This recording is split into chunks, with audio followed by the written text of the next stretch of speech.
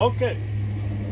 Okay, boys and girls, this is a 2003 uh, Yukon XL four-wheel drive great vehicle, but you had trouble with the engine dying and you can't really clean the, the throttle body. You can get throttle body cleaner and try to clean the throttle body because uh, the air has to go through a little port that's uh, regulated by a little electrical actuator. But when you take all this off, the mass airflow sensor doesn't sense the air going in, so this engine barely runs.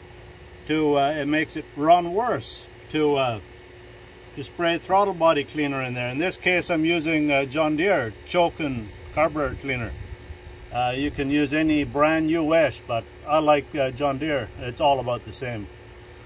But uh, how do you clean the throttle body with the air cleaner and all the piping intact?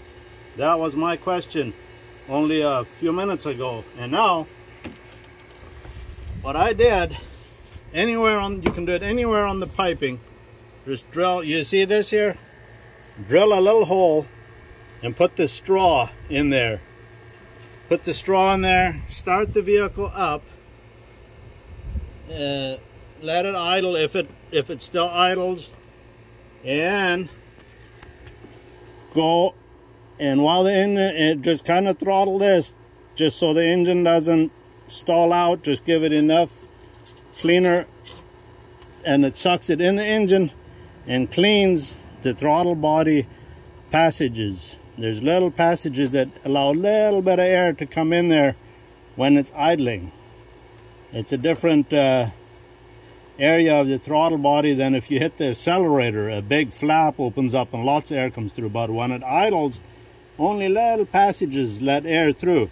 And they got clogged up with uh, hundreds of thousands of miles of air coming through there and whatnot. So, so once in a while you want to clean it. And it's hard to do with this plenum off. You drill a hole, put a straw in, start the car up, and, and throttle it like that. And now the engine will idle, it won't stall. It, it's just a good fix. And I just left this in here. Uh, later on I'll put a piece of bubble gum over there just to clog that hole, but I, I'll just leave it right there for next time. Okay, thank you boys and girls.